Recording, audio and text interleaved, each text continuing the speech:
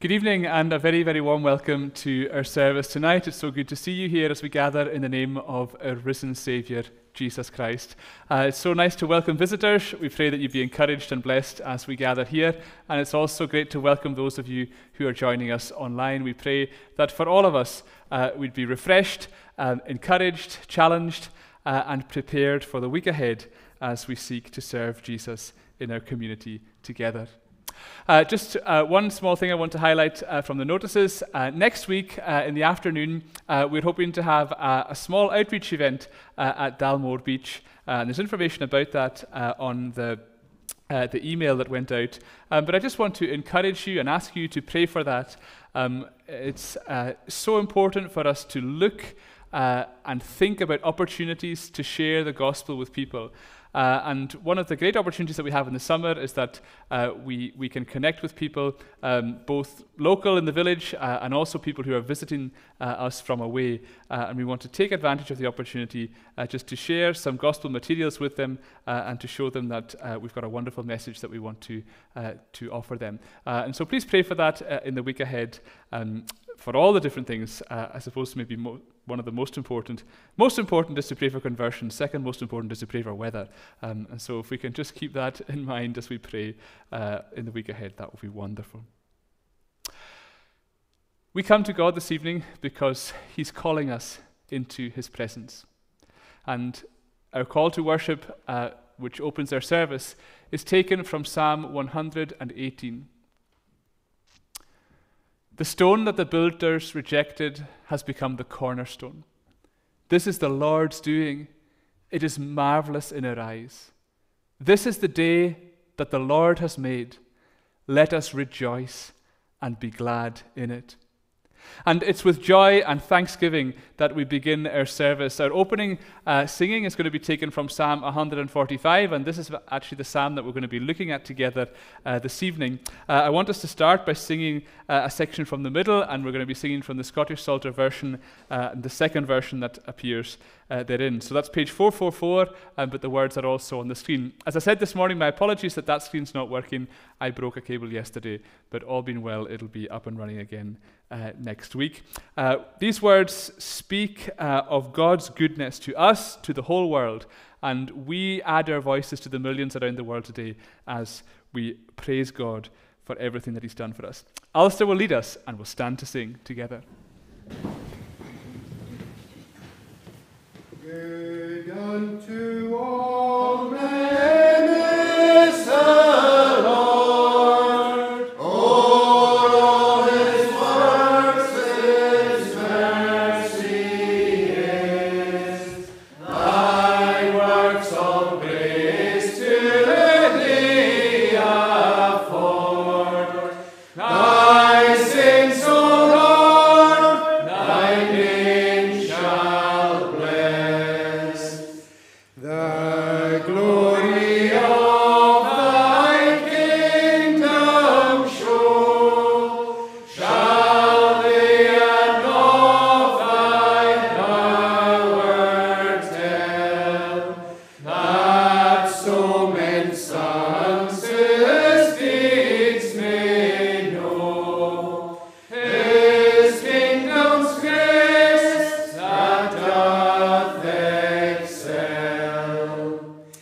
Thy kingdom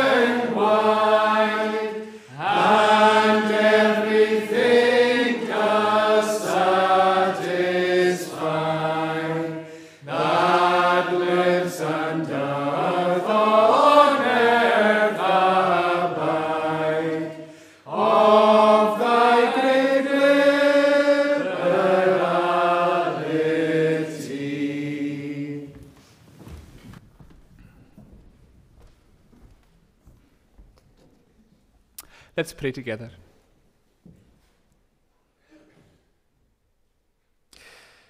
Dear God, our Father in heaven, we are so thankful that we can come to worship you this evening. And as we do so, we come as those who are hungry and thirsty for you. We are aware that, that, that you are the single most important thing in our lives. You are the one that we need more than anything else. And um, you're not just our creator um, from whom we come um, originally, you are our sustainer every single day.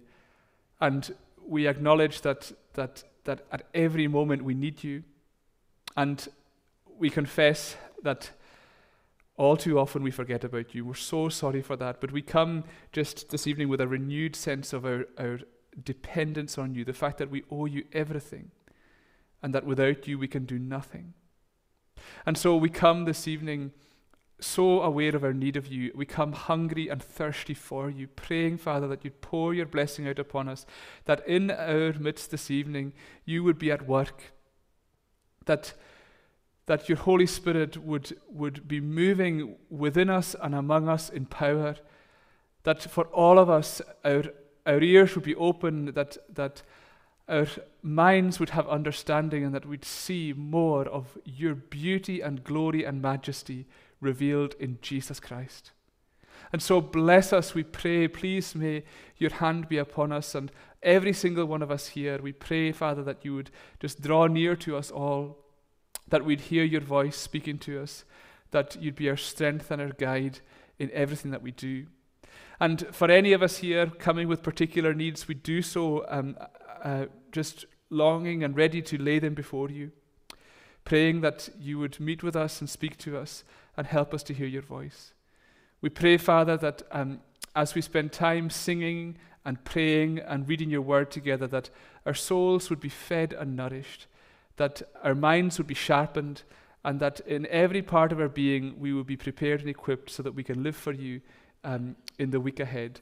We want to give you this week of our lives, and we pray, Father, that in everything that we do, we would be serving you. Even if we're not even realizing it, we pray that you would use us for your glory. So thank you so much that we can gather here. And please bless us and bless all those who are meeting in your name. We rejoice that we're part of a worldwide church. We, we, we rejoice uh, that there is only one church, one body, one family, united to you through your Son, our Lord Jesus. And so we come to you in His name. We rejoice before you in His name. And we pray to you in His name. Amen. Now, each week in our evening services, we take an opportunity to think about something related to the life of our church or something that will help and encourage you in your lives as Christians. We call that Sùil Air, uh, and it means uh, to have a look at. Uh, and so we're going to have a, every week we have a look at something that uh, is is of help to us. Uh, this week we're going to be thinking about the ETS Saturday course. Uh, for those of you who are maybe not familiar with this, uh, every year, uh, ETS, uh, our, our, seminary in Edinburgh, runs what's called the Saturday course. Uh, and this course runs, meets once a month on a Saturday, and three lecturers speak about various topics. It's been running for about 20 years, and it's been something that's been a massive blessing uh, to lots and lots of different people over the years. Uh, this year, uh, there are going to be three, uh, as I said, well, there's always three lectures. This year, the three lecturers uh, are going to be Andy Hunter, Alec MacDonald, and Cory Brock. Now, Andy Hunter uh, is uh, a director with the FIEC. The FIEC is the Fellowship of Independent Evangelical Churches. Um, and so that's churches uh, that are, uh, well, there, will be Baptist churches, independent churches scattered all across Scotland um, who uh, share so much of what we believe uh, in terms of, of theology. Uh, and Andy's been closely involved with ETS and with the Free Church uh, through lots of different partnerships over the years. And Andy's going to be speaking all about pastoral care. And I think that's a really a really wonderful topic to look at because it's very easy to think that pastoral care is just the job of ministers and elders, um, but really pastoral care is the job of the whole um, the whole congregation. And so it's really good to think through how uh, we can all support one another in terms of offering pastoral care. Um, the second speaker is Alec MacDonald. I don't know if we've got the slide because there's a picture of them on the slide, I think. Uh, the second picture, uh, the second speaker is Alec MacDonald, who many of you will know. Uh, he was minister in Bishopbriggs, then in Aberdeen, uh, then uh, in Edinburgh, uh, and he's been here several times over the years. And he's going to be looking at um, at people that Jesus met. And so his topic will be um, in the category of biblical studies and it'd be a great opportunity to look at um, uh, the people that Jesus met and the lessons that we learn from his interactions with them. And then the last speaker is Cory Brock. Uh, Cory is the new assistant um, at St. Columba's Free Church uh, in Edinburgh, uh, a dramatic improvement on the last one. Uh, and he's, um, he's going to be lecturing on um, really the big story of the gospel. And in particular, he's, been, he's going to be thinking about creation and recreation. The fact that in the future, God's plans um, are not just to save our souls, but to save our souls, our bodies, our world, indeed the whole universe. And it's that great message of restoration uh, that, uh, that Cory is going to be lecturing on. And so I just want to really recommend this course to you. Some of you I know have done the Saturday course. Um, uh, and, and I know that you've benefited from it immensely. If you've never done it before, please just think about it. Um, it's not something that you have to be, it, it's, it's completely, uh, there's no qualifications. It's, it's not in any way assuming that you're, you know, that you've have, had any previous study or anything like that. It's just, uh, it's open to absolutely everyone. Now, a couple of practicalities to go through just so that you're aware. Uh, there's two ways you can do the course. One is you can just go to the course and just listen. And that's absolutely fine. If you want to just go and listen, that's perfect. Um, it's also cheaper if you want to do it that way. Um, but if you want to actually get the qualification, to get the certificate, uh, or eventually the diploma uh, in theological studies, then there's actually essays that you can write. Now, you might all think, oh, no way. Well, I want you to think about it because um, writing an essay, it's not that hard really, and it's a great way to, to dig in and study a little bit more about a topic. Uh, and it's not, the markers aren't harsh, it's not scary or anything like that. Um, it's something that's, that's very, you know, it's just, it's just very much open to everyone. It's once a month, it's on a Saturday. In Stornoway, there's a group that meets where you can watch it live, but if you can't make it every Saturday, you can actually watch them all back online. So even, you know, if you think, oh, well, I could do some Saturdays, but not all of them, you can actually go and catch up online as well. So I hope that I've removed all excuses um, that you may have thought of regarding this course, um, and I hope you'll have a wee think about it because it's a wonderful opportunity. If you go to the ETS website, so ets.ac.uk, uh, you'll see that under, uh, I think, courses, let me see, I can't read that one, it's too far away. Um, yeah, courses, you'll see the Saturday course down in the middle there, um, under open courses. That's it, down there, you click on that, then you scroll down, and you've got all the information there. On the right hand side, you've got loads of further information, and then there's the button that you're all going to click that says register now. Okay, that's the Saturday course. Um, it starts, I think, middle of September sometime. The dates are all on the website there. Okay, let's turn and read God's word together now. And our reading is going to be from Psalm 145. This is the psalm we sung at the start, and we're going to read it together now in full, and we're going to spend a wee bit of time thinking about some of what it teaches uh, later on. Psalm 145, please turn to it in your Bibles or on your phone, or if you prefer, you can follow on the screens.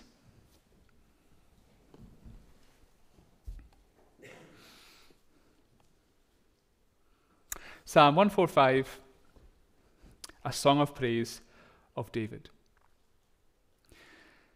I will extol you, my God and King, and bless your name forever and ever. Every day I will bless you and praise your name forever and ever. Great is the Lord, and greatly to be praised, and his greatness is unsearchable. One generation shall commend your works to another, and shall declare your mighty acts on the glorious splendor of your majesty and on your wondrous works I will meditate. They shall speak of the might of your awesome deeds, and I will declare your greatness. They shall pour forth the fame of your abundant goodness, and shall sing aloud of your righteousness. The Lord is gracious and merciful, slow to anger, and abounding in steadfast love. The Lord is good to all, and his mercy is over all that he has made. All your works shall give thanks to you, O Lord, and all your saints shall bless you. They shall speak of the glory of your kingdom and tell of your power, to make known to the children of man your mighty deeds and the glorious splendor of your kingdom. Your kingdom is an everlasting kingdom, and your dominion endures throughout all generations. The Lord is faithful in all his words and kind in all his works. The Lord upholds all who are falling and raises up all who are bowed down. The eyes of all look to you, and you give them their food in due season. You open your hand, you satisfy the desire of every living thing. The Lord is righteous in all his ways and kind in all his works. The Lord is near to all who call on him, to all who call on him in truth. He fulfills the desire of those who fear him. He also hears their cry and saves them. The Lord preserves all who love him, but all the wicked he will destroy. My mouth will speak of the pra- speak the praise of the Lord, and let all flesh bless his holy name forever and ever. Amen. This is God's word, and may he bless it to us. Let's pray together again. Father, we acknowledge that you are God and King over all creation. And uh, we thank you that that means that we can come to you um, with prayers that extend right to the ends of the earth. We want to pray for uh, nations of the world um, where there's suffering and strife and difficulty. We think um, again of all the unrest in Ukraine um, and just the tensions there and in Russia. Um, and all that's going on there. We pray, Father, for healing. We pray for peace. We pray for a de escalation of the conflict there. And we pray for everybody who's caught up in the midst of what's going on. Um, we pray for other nations in the world, nations that uh, suffer with poverty, with drought, um, with disease, ones that diseases that, that we have easy access to medicine, but yet for them can be devastating. Uh, we pray for nations where there's political unrest um, and where there's tension and fear. Uh, we pray, Father, that in all these circumstances, um, the hope of the gospel would transform individuals, families, communities, and indeed whole nations. We want to pray for our own nation here. We pray, Father, for, um, for our governments in London and Edinburgh. Uh, we especially pray that you would uh, guide and direct the, the, the appointment of a new Prime Minister, and for whoever that will be, we pray that they would seek you and be guided by you. We pray for all those involved in, in the life of our nation. We think of people involved in civil service, um, in schools and education, those in the health service, in the media, uh, in all the different things that keep uh, our nation um, functioning. We think of those in the armed forces, and we pray for them all. We thank you for um, the blessings and provisions that we enjoy every day. We pray for our own island, and we pray, Father, that you'd be at work among us. And um, we're so aware that that that we're now living in a mission field, a huge mission field, where the majority of people don't come to church and don't, don't know you. And we pray, Father, that you would help us to be a light in that, in that darkness. And we pray that for every one of us, you would take us and use us to share the good news of Jesus this week uh, and in, in the rest of our lives. Please be at work among us. Please bring people to faith in Jesus. Um, we think of uh, just just the huge gaps that we see in our churches. Um, we see um, we see huge age groups that are barely barely present. Um, adults my age and um, young adults and children. We pray, Father, that you would be drawing them in and help us, help us to, to reach out in a way that will, will meaningfully connect with them. And please, please be at work among us. Please have mercy on our island. And please help those who are in particular need just now. We pray for those who struggle with addiction, um, for those whose lives are in the grip of um, just that awful slavery. We pray for them um, and ask that they would find freedom and healing um, through you. We pray for those who face serious illness. We ask that you would just draw so near to them and to their families, all those who are facing just uncertainty and um, and fear about their health over coming weeks and months. And we pray for those who mourn, asking that you would bring comfort and peace to, to all those who've lost loved ones in recent times, that they would just be strengthened by you. We also want to pray for those who are busy, those who are under pressure, um, and who are worn out by all the, the responsibilities that life can bring. We pray, Father, that you would just bring, bring peace and refreshment to them. We pray for families where there have maybe been fallouts and difficulties. We pray for um, the restoration of broken relationships. Uh, we pray for healing uh, where there has been hurt. And we also just want to pray particularly for um, people who we know of who um, perhaps feel like they can just never come to church, either that they don't belong or that they're not welcome or that they don't fit in or, or because they've been hurt in the past, whatever it may be, we pray, Father, for, for healing. And we pray that you would draw people back to come and hear the amazing good news of Jesus. And so we've got so many needs to bring before you. We just lay them before you. And we do that because we know that you are big enough to carry all of these. That you are the one that we can turn to um, with all of our needs. And so we pray, Father, that you would just pour your grace and mercy out upon us anew, and that you would be doing great things in our midst. We come to you because we are hungry for you and because we desperately need you. So bless us and have mercy on us, we pray. In Jesus' name. Amen. We're going to uh, sing again together um, from Psalm 25, and we're going to sing the Sing Psalms version. Um, after we sing this psalm, we'll turn back to Psalm 145. But uh, this psalm uh, is, is a wonderful prayer for us to pray as we go into a new week. Um, we are praying that God would reveal his ways to us, that he would be our guide, um, that all day, every day, our hope would be in him, that we'd follow him and serve him. Uh, and so we're going to stand and sing verses 4 to 9 uh, together, and Alistair will lead us again.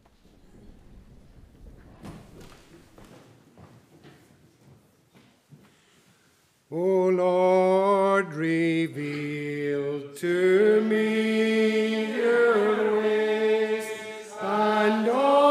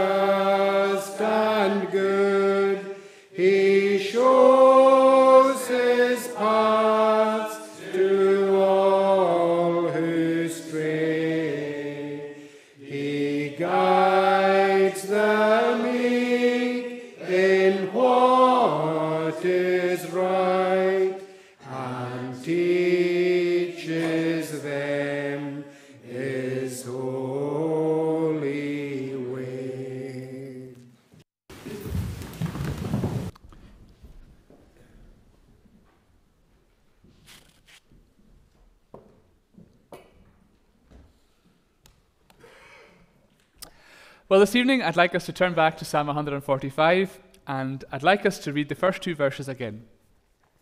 I will extol you, my God and King, and bless your name forever and ever.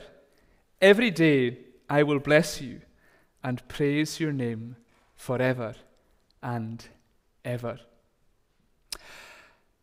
Tonight I want us to do something that's maybe a wee bit different. Um, and I hope you'll see uh, as we go through why it is a wee, di- wee bit different. Our title is An Ordinary Day in the Life of a Christian. Uh, and I want us just to think about an ordinary day.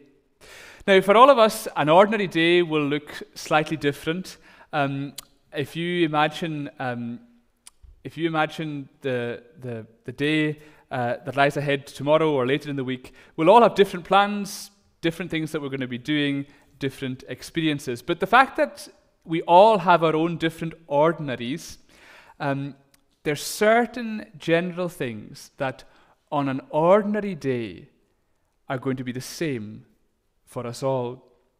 And these are the things I want to think about today. Um, I'm going to list seven. Seven things that happen on an ordinary day. Number one, you wake up. So, tomorrow is going to be yet another Monday morning, very likely to be yet another ordinary day. Tomorrow, we're all going to have duties. So, maybe that's work, maybe school, maybe responsibilities at home, maybe people that you'll attend to, even if it's just by phoning them or meeting them. Uh, maybe you'll have an appointment you have to go to. Maybe you'll have a medicine that you have to take. Maybe you've got a dog that you have to walk. Tomorrow, we will all interact with people. So, there's family that we live with, friends whose company we enjoy, colleagues you'll work alongside, or classmates, strangers that you'll encounter um, as you go through your day, maybe even enemies, people who are difficult, people who will be frustrating, maybe even people uh, who will hurt you. Tomorrow, we will all receive news. Um, that might be national headlines, um, it might just be simp- simply asking somebody, How are you doing? Tomorrow, we will have successes.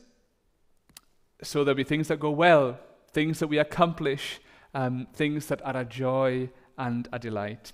Uh, tomorrow, there will be sufferings, things that, that are either done by us or done to us that will cause pain, sorrow, and disappointment. Now, that might be as minor as your football team losing, it might be as major as a health scare uh, or a crisis at work.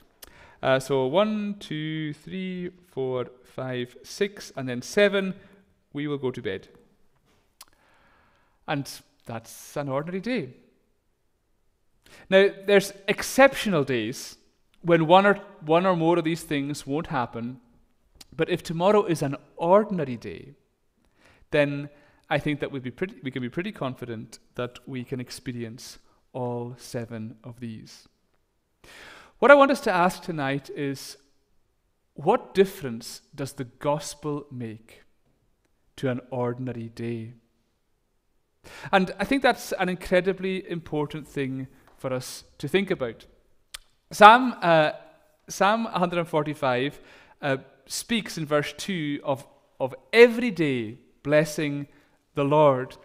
But even though Psalm 145 speaks of doing that every day, I think it's very easy for us um, in our discipleship, in our lives as Christians, to focus primarily on exceptional days.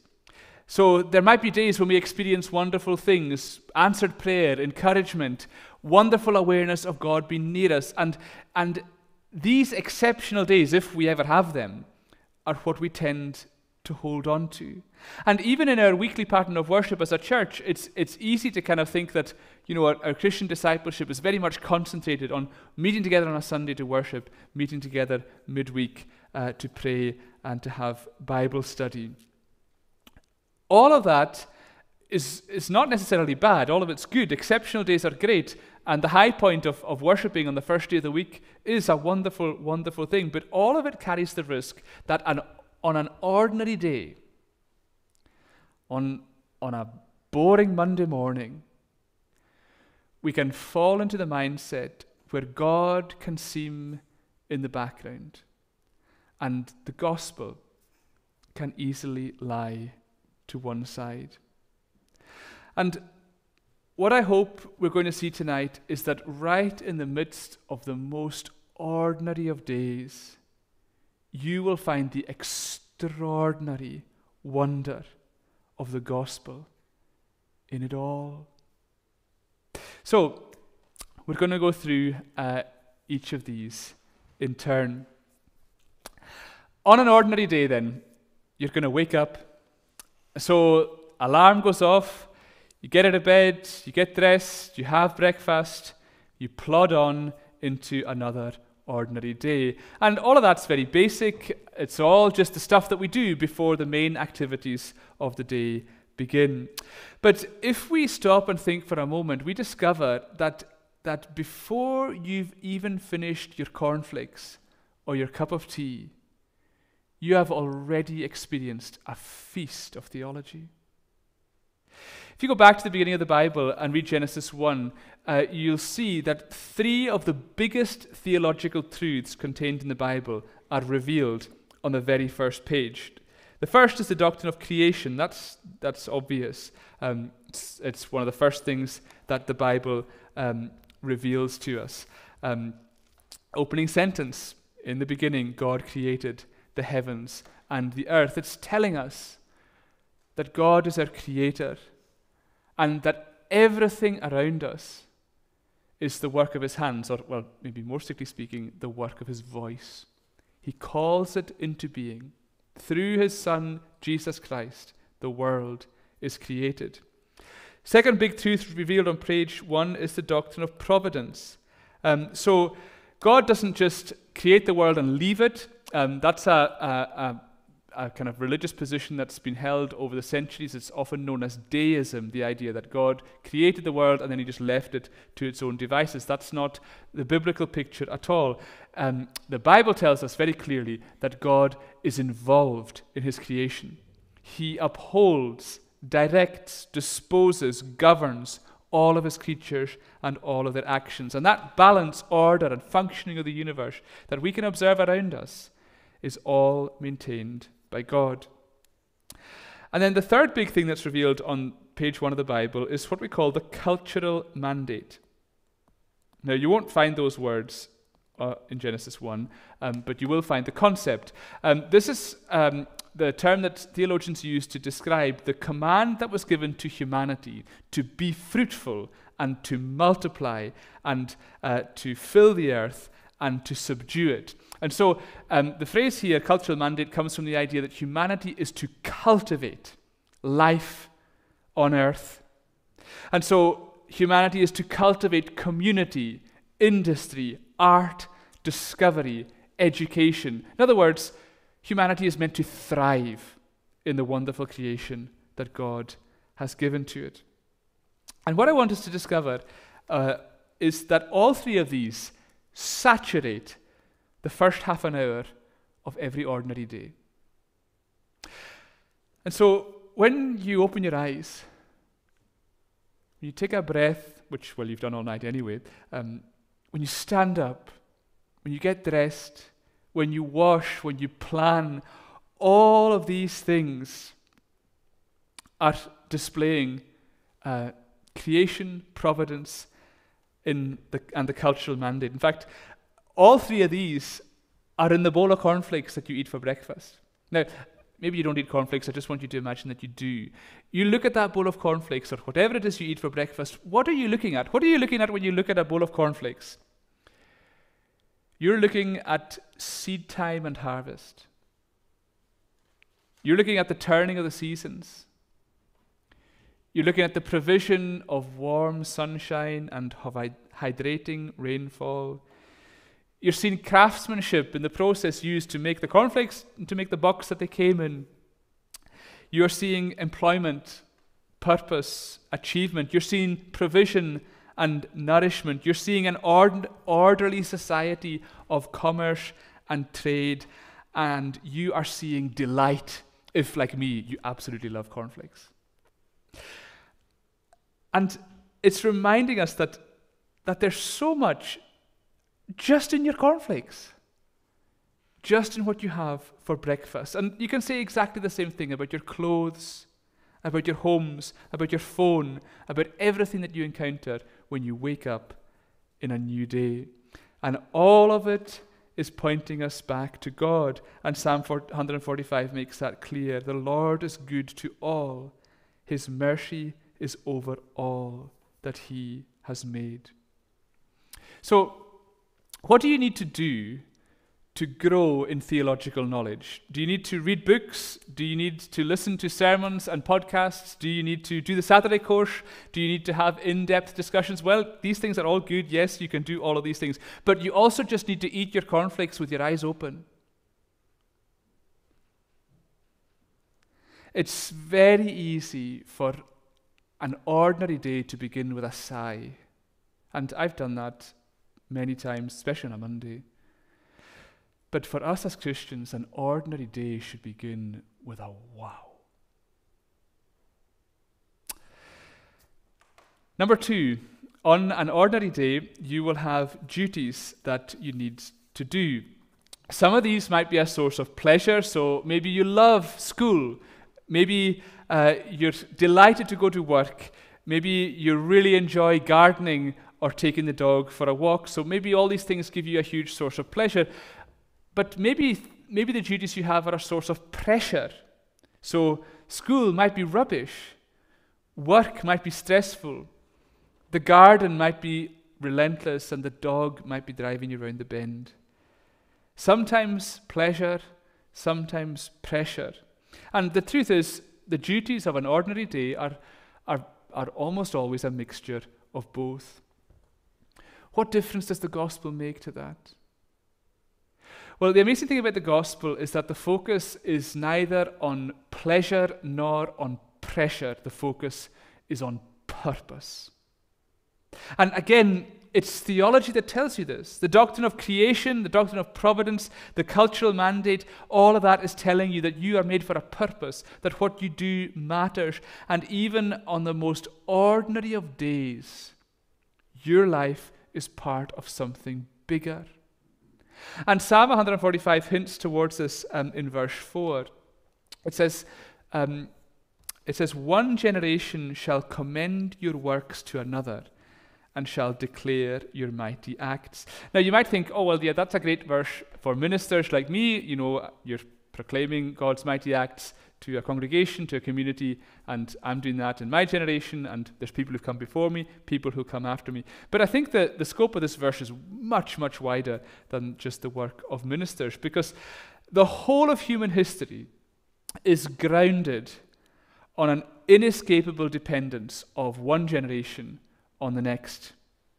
Every generation depends on the one that came before it, and the one that comes after it depends on them. That applies to everything.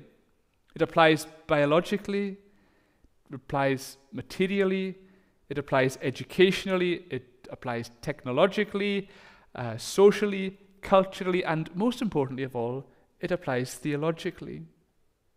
You are part of a generation that's totally reliant on those who came before you, and it is on you and me that the next generation completely depends. And this verse, verse 4, I think is fascinating because it's a verse that every human is fulfilling, even if they don't know it.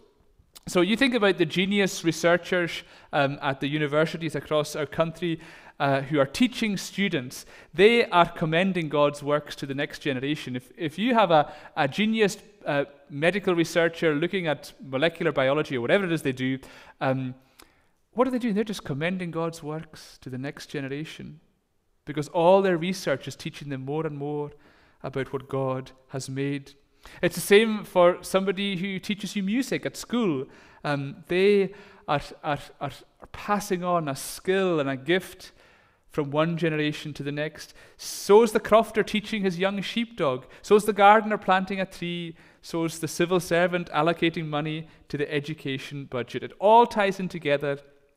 No duty, no matter how ordinary, lies outside God's mighty works. Now, this is incredibly important for us to recognize when we think about duty because it'll help us to shift our mindset from viewing duties as obligations and instead recognizing them as opportunities. So often, the stuff that we've got to do every week feel like obligations, and there's a sense in which they are. But, but the gospel is telling us that every ordinary day is an incredible opportunity to fulfill the purposes that God has for us. Now, there's two very important points related to this that I want to just mention uh, in turn. One is that when we talk about this whole idea of purpose, it's very important that we mustn't be too individualistic. This is a huge danger that we face in our culture just now because everything is, well, virtually everything is individualistic. And so when we talk about purpose, we think in terms of personal goals, uh, personal hopes, personal dreams. And that's not wrong um, as long as it, these things don't lead us uh, into sin. But an individual, an individualistic understanding of purpose is poor theology because God's plans are always for us all. God functions collectively. His plans are for us all together as part of His creation. And that's why some days, your days will be ordinary.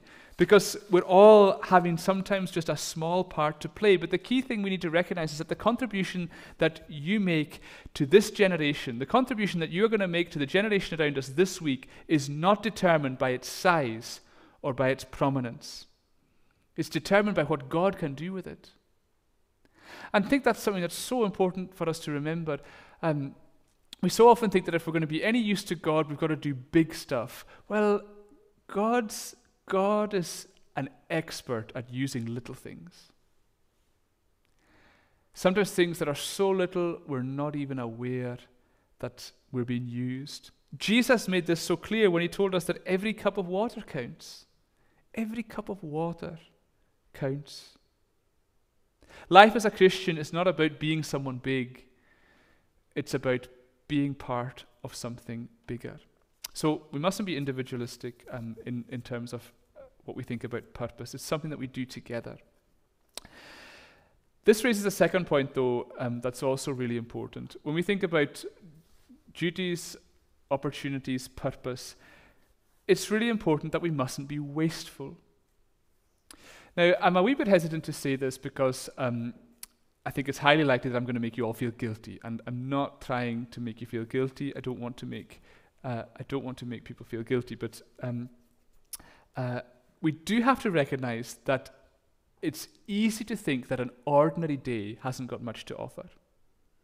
So it's easy to think, well, what have I got to offer for Jesus this week? And it's very easy to come to the conclusion very quickly, well, not very much, because it's just an ordinary week. And as a consequence of that, um, you know, we can waste the time that we have. So much so, sometimes I hear people say, you know, over the years, I've heard people say, you know, what are you up to? Ugh, I'm just passing the time. And I remember once a Christian I knew many, many years ago, um, and he was at his happiest when he could just find something to pass the time. It was almost as though time was an enemy. And the more he could just make it pass away as quickly as possible, the better. And I can understand that mindset, but I hope we can all see that that mindset's tragic. And it's a travesty of everything that this psalm speaks of. You look at verse 2, uh, you know, does it say, um, each day I rise, I'll pass the time away? No. Each day I will bless the Lord. Each day I'll praise Him and I'll live for Him. Each day is an incredible opportunity to serve Him. Now, I'm going to say one more thing that risks being even more offensive. That there's a category of people who are in most danger of falling into this trap. And that category of people is the retired. People who are retired. And what I want to say is this when you're retired, it's so easy to think that because you can't do as much, therefore you can't do anything. That is absolutely not true. Absolutely not true. In fact, being retired opens up a whole host of opportunities that you will never have had time for while you were working. And I want you to think about that. Think about how even just a, a text to somebody, a conversation, meeting with someone for a coffee, going for a walk with them, sending someone a card, whatever it may be, you have no idea how much God can use that to bless someone. And so, um, so those of you who are retired, we need an army of retired people who are living every day, um, seizing the opportunities that God gives to them. But whatever our age, whatever our stage, ordinary daily duties are an amazing opportunity for God to fulfill his purposes. Number three, on an ordinary day, you're going to encounter people. And so that's family, friends, colleagues, classmates, strangers, and even if you're on your own all day, the, the loneliness that you may feel is still connected to other people because it's their absence that's giving you that sense of isolation. So, for some of us, when we wake up, the very first thing we might see is somebody else. For others, um, the very first thing that we'll see is a gap that we desperately wish wasn't empty. It's just one thing I want to say here. Um, earlier on, uh, we asked that um, long standing classic theological question um, what are you looking at when you see a bowl of cornflakes? Um, now we're going to ask an even more important um, question. When you meet people, what are you looking at? And the fundamental truth of the gospel is that every time you look at another human, you are seeing the image of God. That's what makes humanity so incredibly special. That's what makes each person unique, precious. They're an image bearer. And that's also what makes sin so awful because the image bearer that you're looking at, whether that's when you're looking at someone else or looking at yourself in the mirror, has been broken by sin. Their relationship with God has been ruined. We're all prone to rebellion against Him. And for any who are not yet believers, they're in monumental eternal danger. That is what you see every time you look at someone.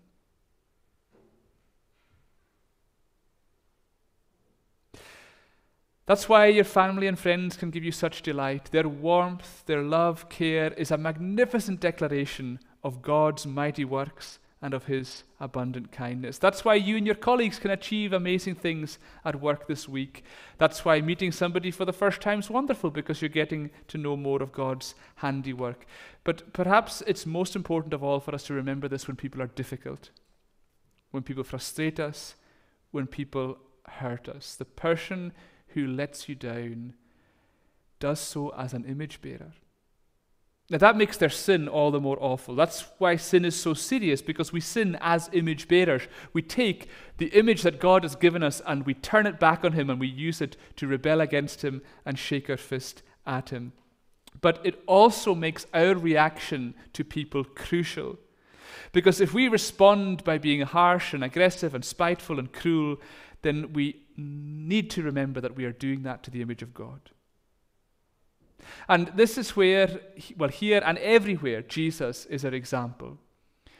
And he's an example to us because he was always ruthless with sin and gracious with sinners. And that's exactly how we need to be as well. Every single person that you're going to meet on an ordinary day, at home, at school, at work, in Tesco, in another car, on the TV, whoever and wherever they are, they're made in the image of God. They're tragically broken by sin. They're desperately need, in need of Jesus. And if that never crosses our minds, then we are getting our theological basics completely wrong. On an ordinary day, you're going to receive news. That can happen in thousands of ways. Checking the headlines on your phone, uh, getting a phone call and a message from someone, opening your emails, uh, asking someone um, how they're getting on. It's all just feeding us news. Even the most ordinary of days will involve us receiving and processing an enormous amount of information. Some of that news will be true, some of it will be false, some of it will be healthy, some of it will be harmful. Earlier, we were asking the question, you know, what are you looking at, whether that's cornflakes or people or whatever. Here, the key question is, what are you looking with? In other words, as you receive news, what lens is that coming through? Because whenever you look at something, you need to have the appropriate lens, whether it's sunglasses on a bright day. Um, you can just imagine, you can use your imagination to try and uh, experience what that would be like. Um, a microscope to see something tiny, a telescope to see something far away. If you want to see clearly, you need to look through the correct lens. The key point that for us as Christians, the gospel is the lens through which we must view everything. Everything. So, news of political unrest among the nations, we remember that God is sovereign, that his kingdom is an everlasting kingdom. His dominion endures to all generations. Anxious about news of economic hardship ahead, which is probably going to be a reality for, for most of us, the gospel tells us that God will provide. He's the one who gives us food in due season. News of people being mistreated in the world and suffering, the gospel tells us that all injustice is wrong, is going to be called to account. Uh, the unrepentant wicked will be destroyed. All the information we receive needs to be viewed through the lens of the gospel. And this is why we mustn't just have our gospel glasses on on a Sunday. We need to have them on all the time, through every ordinary day. And the key point is that, that, that looking through the lens of the gospel is not, it's not trying to give you religious vision it's going to give you accurate vision. The lens of the gospel is going to show you on every ordinary day that people are precious, that life has meaning, that time is short, that gossip is damaging, that gentleness is strength, that injustice is wrong, that kindness is valuable, that riches are overrated, that sex won't satisfy you, that life is a wonderful gift, and that there is always, always, always hope for you and for every person that you meet. I'm going to do number five and six together. On an ordinary day, you're going to succeed and you're going to suffer. That might be big uh, or small. It might be a day when everything goes well. It might be a day full of frustrations. The gospel makes a massive difference to all of these, and it does so in all directions. So, our moments of success are reasons to rejoice, reasons to sing the words of verse 1 I extol you, my God and King. I bless your name forever and ever as we enjoy all the good things that He gives us in life. Our moments of suffering are reasons to sorrow, reasons to cling on to verse 14 the promise that the Lord upholds those who are falling. In moments of success, the gospel lifts us to rejoice. In moments of suffering, the gospel reaches us when we're low. But what I want us to see is that the gospel does even more than that. The gospel guards us against thinking that life should always be wonderful.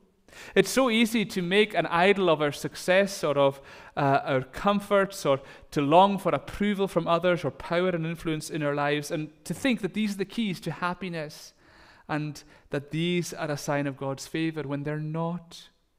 The gospel guards us from thinking that, you know, everything must always be perfect for me. The gospel tells us that that's not how life is going to be. But the gospel also guards us against thinking that suffering is always awful. That's so easy to kind of have that very simplistic view of life where, you know, if things are good, then it's great, and if things are bad, then it's awful. I want more good, and I never want things to be bad. But the truth is, struggle and suffering and trials can be an enormous source of good. And they're a key tool in God's hands in his work of sanctification as he teaches us, guides us, and when he needs to, he disciplines us so that we become more and more like Jesus. Paul speaks of that so powerfully. He says that we rejoice in our sufferings, knowing that suffering produces endurance, endurance produces character, and character produces hope. And hope does not put us to shame because God's love has been poured out into our hearts through the Holy Spirit who's been given to us. On an ordinary day this week, when you have success, rejoice and thank God. But guard your heart so that your hope and identity is always in Jesus and not in whether or not you have a good day. And when you face sufferings, never think that it means that God has abandoned you. He's never going to leave you. And the fact that you're suffering is not a sign that He's forgotten you, it's a sign that He's got big plans for you. As we saw in verse 14, He upholds those who are falling, and He raises up all who are bowed down. So, on an ordinary day, we're going to get up, we're going to attend to duties, we're going to encounter people, we're going to receive news, we're going to have successes, we're going to have sufferings, and then you're all going to go to bed. And as Christians, we can and should do three things when we go to bed. First, we can look back over the day that we've had. And as we do so, we give thanks to God for everything that we've received from Him. We think about all that we've learned. We acknowledge where we've gone wrong and we repent and tell God how sorry we are. And we marvel at how God transforms every single part of the most ordinary days. The fact that, that God is righteous in all his ways, kind in all his works. So we look back. Second thing you can do is look round. Sometimes that will be with a sense of peace. You get into bed, you look around, you think, Oh, I'm so glad I'm in bed. I'm so glad I can rest. And there's just that great sense of peace and relief uh, of getting to bed. Sometimes going to bed is just the best. But sometimes you look around with a sense of fear. Sometimes going to bed is the worst and it's the last place you want to go. And you go and you're just confronted with all your worries and thoughts and fears and struggles. The amazing thing is that when you lie in bed, you can look around knowing that God is with you. That the Lord is near to all who call on him, to all who call on him in truth. This is maybe a guess. I probably shouldn't be so speculative, um, but I would I would like to think that that the majority of times that that verse has been fulfilled has been when people have been lying in bed, lying in bed at night, struggling to sleep, anxious, suffering, lonely, and you talk to God, and He is near to you, near to all who call upon Him. So you can look back, you can look around, but most of all, as we go to bed, we can look forward. We can look forward to another amazing, ordinary day tomorrow. And even more so, we can look forward to an utterly amazing eternity with Jesus and with each other in the new creation. And I love the way this is brought before us in verse 2. Um, I love the way verse 2 starts with every day and it ends with forever and ever. And that's the great wonder of the gospel. It transforms every day through all that God has done for us in Jesus. And it holds incredible promises for our future, it promises the most wonderful forever and ever for all. I want you to go away now and I want you to think about a final question. What are you going to do with all of this tomorrow morning? For those of you who are Christians, how's this going to change tomorrow? How's it going to shape how you get out of bed? How's it going to affect the way you live your life? Um, how is it going to shift your perspective? What are you going to do with this tomorrow morning? Um, both in terms of you know the opportunities that you have and also the struggles that you face. But even more importantly, for anyone here or anyone watching at home who's not yet a Christian, what are you going to do with all of this tomorrow?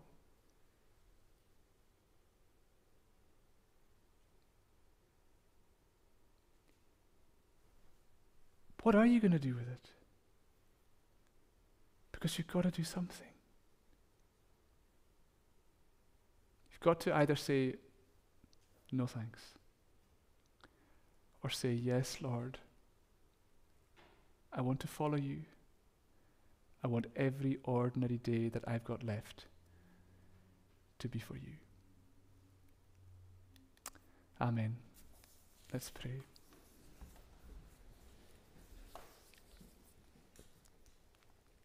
Father, we thank you so much for your word and for the truth that you've revealed to us in it and for the difference that makes to every single part of our lives and to every day that we live. We thank you for all the blessings that you give to us on every ordinary day of our lives. We pray that that every ordinary day that we have this week and and that we have in the rest of our lives would be transformed um, by the gospel and that we would see and recognize the difference that you make to every part of our lives, that you would take us and use us so that we would live every do- ordinary day of our lives for your glory. Amen. We're going to close with Psalm 116 and the Sing Psalms version uh, from 1 uh, to 9. Uh, these I love these verses, and I love how they begin. They speak um, of just of how just a great expression of our love to God. But I also love how they end because in verse nine it speaks of uh, living for Him while we have breath. So it's simultaneously praising God for what He's done for us, and it's recommitting our lives to Him as we seek to serve Him. And so it's a brilliant psalm for us to finish with, and it's a brilliant psalm to to set us up for the week that lies ahead. Let's stand and sing together. I love the Lord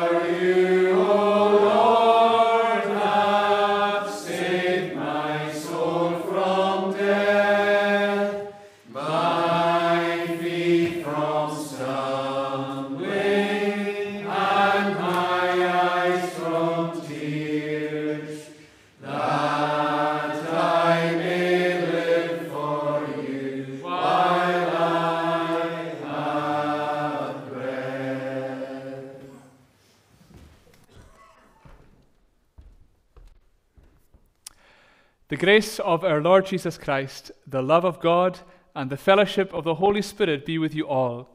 And all God's people say, Amen. Thank you so much for being with us uh, this evening. Uh, there's tea and coffee served from the table at the side there, as, as usual, so we'd be delighted if you're able to stay. Uh, it would be lovely to get the chance uh, to chat together. I hope you all uh, have a wonderful week, uh, and in all the ordinary days that lie ahead, may you know the extraordinary joy and peace